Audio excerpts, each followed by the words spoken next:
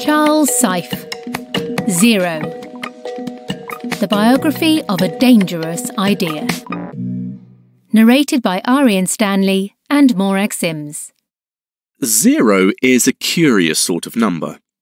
It's not much like 4 or 32 or 83. When you add zero to other numbers, nothing happens. When you multiply other numbers by zero, you always get zero back. And when you divide by zero, all hell breaks loose. It's such a strange number, in fact, that back in the ancient world, many great mathematicians denied its existence altogether. And in modern times, even the philosopher Rene Descartes claimed it wasn't real. But since its eventual acceptance, it's been found at the heart of pretty much every breakthrough in math or physics. How so? You're about to find out.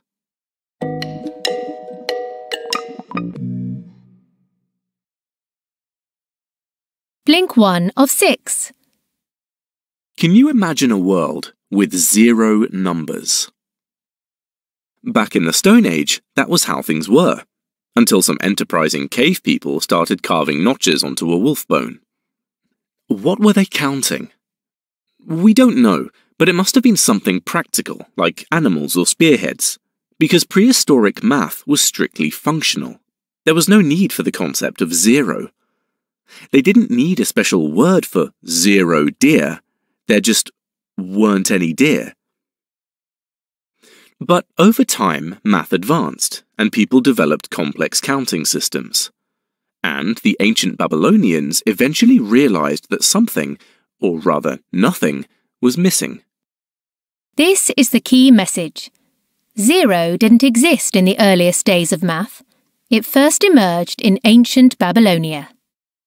To understand why zero first appeared, you're going to need to know how the ancient Babylonian counting system worked. So here's a quick breakdown. You probably know that our modern counting system is decimal, or in base 10. We group things into ones, tens, and 100s. But back in ancient Babylonia, the system was sexagesimal. It was in base 60. And get this, it had just two symbols. Those two symbols represented 1 and 10. The Babylonians just repeated those symbols however many times they needed, much like in the later, better known Roman system. 50, for instance, would be 5 times the 10 symbol. 51 would be the same plus a 1 symbol, and so on until you got to 60. Here's the confusing bit. At 60, they just start again with the 1 symbol. 60 and 1 were represented by the same symbol, and so was 60 times 60, or 3600. If you're thinking that sounds ambiguous, you're right. But it was especially ambiguous when it came to numbers like 61 and 3601. Those were both represented simply by two 1 symbols, side by side. So how could you tell the difference between them? Eventually, the Babylonians found a solution. Zero. To write 3601, they wrote a totally new symbol in between the two 1 symbols. This made clear that the first number wasn't 60, but a degree higher up. This was the birth of zero. But this still wasn't quite our modern day zero. Really, it was just a placeholder denoting an absence. It was only later on that the strange, mystical properties of zero would become fully apparent, to the amazement and horror of the ancient Greeks. Blink 2 of 6. For many ancient civilizations, numbers were merely tools for counting and dividing up land. For the ancient Greeks, however, numbers were a whole philosophy. Mathematician philosophers like Pythagoras saw a harmony of numbers within every shape. But the ancient Greeks were not on board with zero. Not at all. In fact, Aristotle declared that it simply didn't exist. It was merely a product of man's imagination. And his views on this subject, as on so much else, resounded through the centuries, to the detriment of math in the Western world. The key message here is philosophically minded ancient Greeks rejected zero despite its usefulness. Conventional wisdom in ancient Greece was that zero didn't exist. But one philosopher, Zeno, devised a paradox that questioned this accepted belief. Imagine the great athlete Achilles is racing against a tortoise. The tortoise gets a head start of one foot, can Achilles overtake the tortoise and win? Well, Achilles makes up the tortoise's one foot advantage in, say, a second. But by that time, the tortoise has moved slightly further on. Okay, so Achilles gets to the tortoise's new point in a fraction of a second. But the tortoise, of course, has already inched ahead again. And so on and so on ad infinitum. Every time Achilles catches up with where the tortoise was, it's already moved ahead. The gap between them becomes smaller and smaller, but Achilles can never quite get there, right? We all know that, in reality, Achilles would simply overtake the tortoise. That's because the gap between Achilles and the tortoise has a limit zero. Sure, it takes an infinite number of increasingly tiny stages to close the gap, but it does eventually happen. But the Greek mathematical system couldn't account for Zeno's paradox, because it banished zero. According to Aristotle, zero and the infinite simply didn't exist. Everything was finite. The universe had an outer sphere and then abruptly stopped. Time was finite too. At some point in the distant past, it had just begun. That was the bedrock of their belief system. But what happened before time began? The answer is either nothing at all, zero, or there was no starting point, infinity. It doesn't make sense to deny the existence of zero and infinity. Yet that's what happened in ancient Greece and through the Middle Ages in the West because of Aristotle's huge influence. Further east, however, Aristotle wasn't so influential. Blink 3 of 6.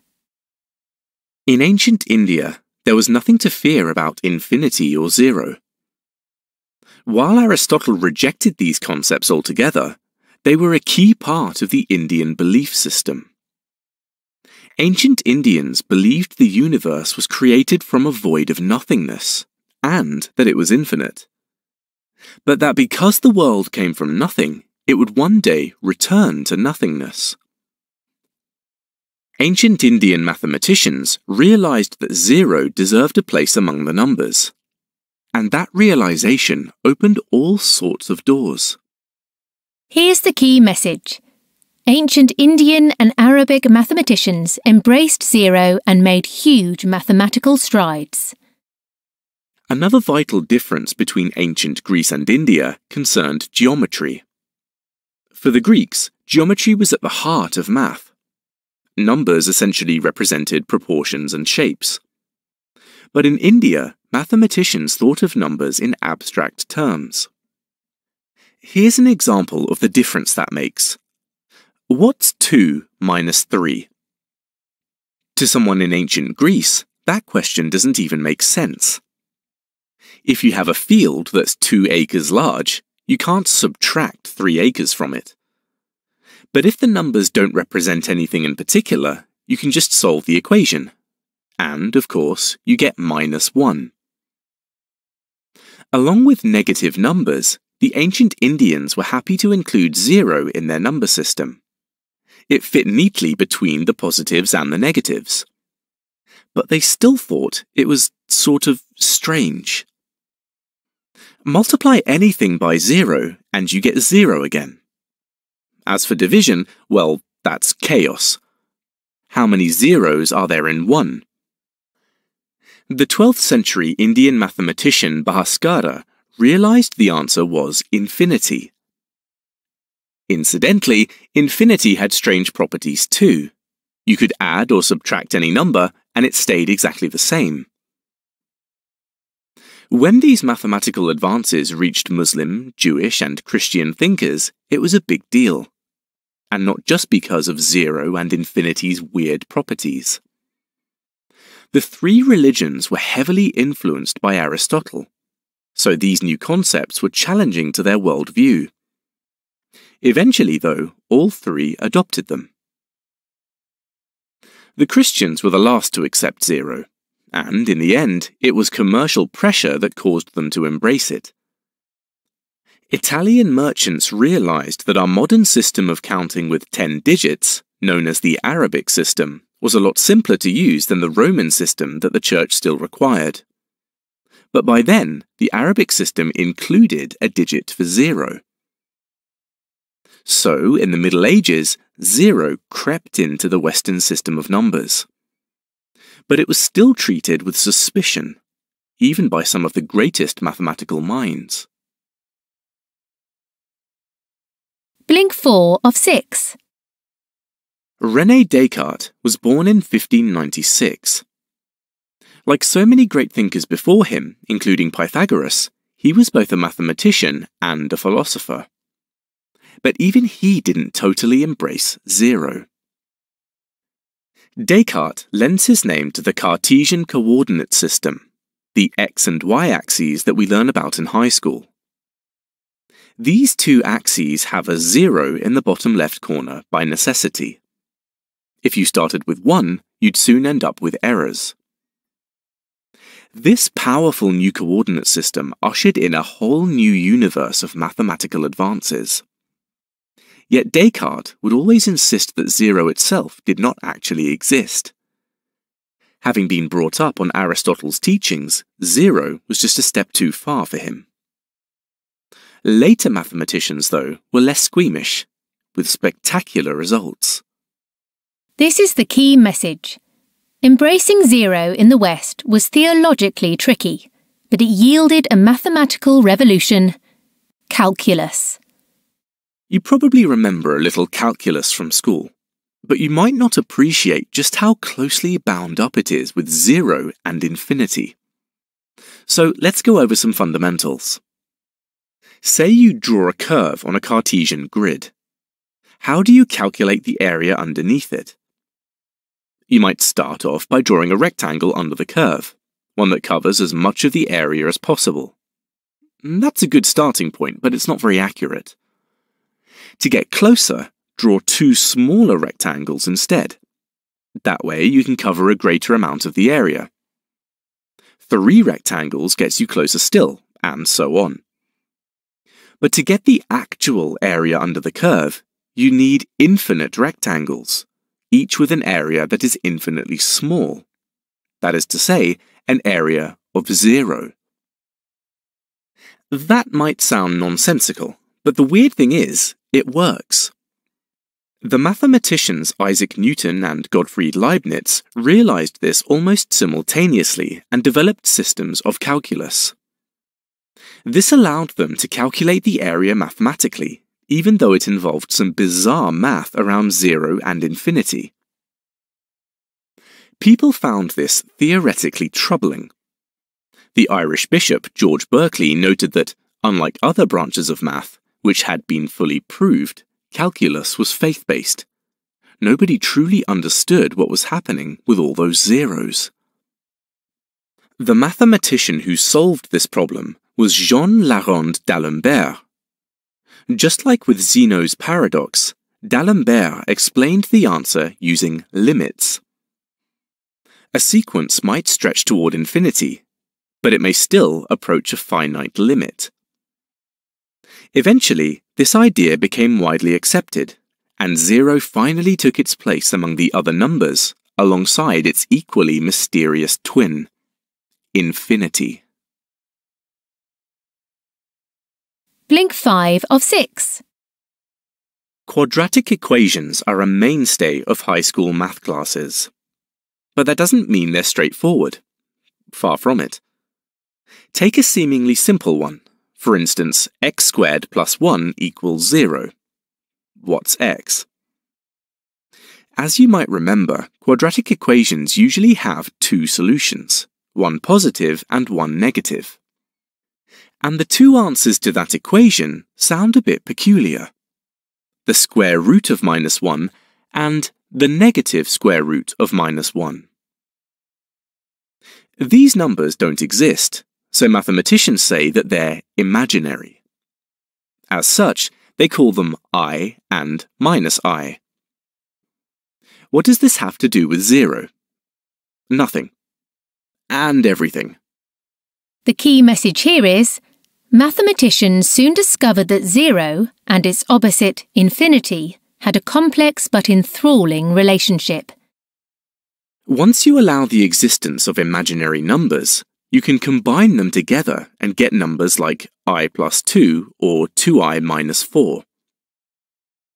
To visualize numbers like that, known as complex numbers, it's helpful to map them onto a Cartesian grid, with the x-axis for the real part of the number, say minus 4, and the y-axis for the imaginary part, say 2i.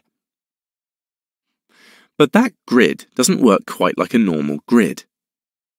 Say you plot the point i one square up on the y-axis and at 0 on the x-axis. What happens when you square that number? i squared, by definition, is minus 1. So in fact, that point rotates 90 degrees to the left. The same is true for any complex number. Multiplying it by itself causes it to rotate around the grid. If we stay on a two-dimensional grid, things become pretty complicated at this point. So the mathematician Bernhard Riemann realized that it made more sense to visualize things on a sphere. Imagine a sphere with i at one point on it and minus i directly across from it.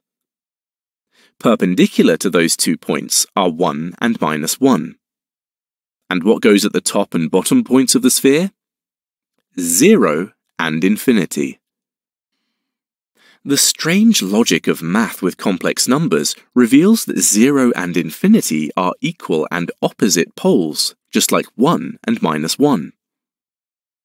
The Riemann sphere makes some previously problematic equations easier to understand. Take y equals 1 over x, for example. In two dimensions, it looks messy. The curve shoots out of the picture toward infinity as x approaches zero. But on the sphere, it makes perfect sense. The curve simply reaches the topmost point. This might all sound a bit theoretical, but if you're wondering what any of this has to do with the actual, real world, stay tuned. Because zero and infinity are mainstays not just of math, but of physics too. Blink 6 of 6. We've just been talking about imaginary numbers. But zero and infinity are so real that they make themselves felt in the real world in all manner of important ways. In fact, they underpin many of the advances made in physics over the past hundred or so years. One example goes back even before that. In the 1850s, physicist Lord Kelvin discovered that it was literally impossible to cool an object below around minus 273 degrees Celsius. In other words, he discovered absolute zero. The key message here zero and infinity aren't just mathematical concepts, they abound in physics too. It's actually impossible to ever reach the temperature of absolute zero, because absolute zero is the state a gas reaches when it has zero energy at all. This is unattainable. There are always particles around giving off energy and warming stuff up. But absolute zero really is there as a limit in the natural world. Another zero in physics was uncovered by the work of Albert Einstein the black hole. Einstein's theories helped account for a curious and concerning phenomenon that happens in deep space. When a massive star dies, its gravitational pull is so strong that it collapses on itself, getting even smaller until it eventually takes up zero space. But despite taking up zero space, it still has mass. And that incongruous combination causes a curve in space-time itself, sucking in anything that approaches it. Other advances in physics have different relationships with zero altogether. String theory, for instance, takes the curious step of more or less banning it, but not quite in the same way as Aristotle all those millennia ago. According to string theory, the universe exists in 10 or possibly 11 dimensions. So what seems like zero to us may not really be zero when all the other dimensions are factored in. This theory helps to explain certain enigmatic features about the universe. But some argue that this is more a philosophy than true science because it's not provable through experimentation. Then again, zero and philosophy have always gone hand in hand. Right from the beginning of time, the Big Bang itself, another zero of course, through to the eventual end of the universe, zero has always exerted a mysterious, vacuous power. Nothing can be created from nothing, the poet and philosopher Lucretius once said. But that nothing has strange, mystical properties and we're still uncovering them today.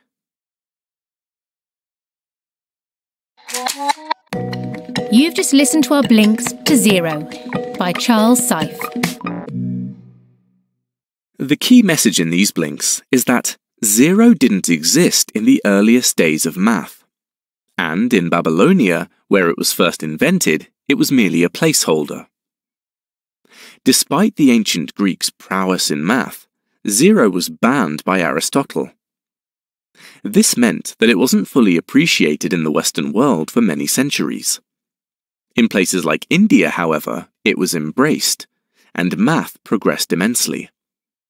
Zero has since gained its rightful place in the system of numbers, along with its twin, infinity, and it's proved to be a vital yet mysterious component of every new concept in math or physics, from calculus to relativity.